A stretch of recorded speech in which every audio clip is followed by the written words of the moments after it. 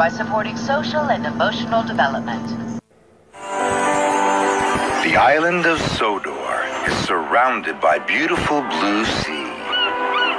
It has fields of green and sandy yellow beaches. There are rivers, streams, and lots of trees where the birds sing. There are windmills and a coal mine, and docks where visitors to the island arrive. The island also has lots and lots of railway lines. Who's that puffing down the track?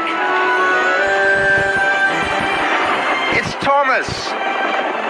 Hello, Thomas! Hello, everybody. Welcome to the island of Sodor.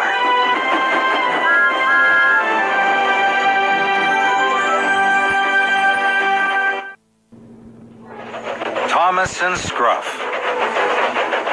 On the island of Sodor, all the engines are busy engines. But some have special jobs. Percy pulls the mail cars. Gordon pulls the express. Thomas has his branch line.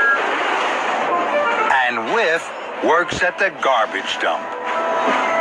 One morning, as Whiff was biffing and bashing garbage cars, Thomas chuffed cheerfully into Whiff's garbage dump. Good morning, Whiff. You look busy. I am, Thomas. I can't stop to talk. I have to puff round the island to pick up more cars. Then I have to shunt them back here, and it must all be tidied away by tea time. Sir Topham Hatt said so.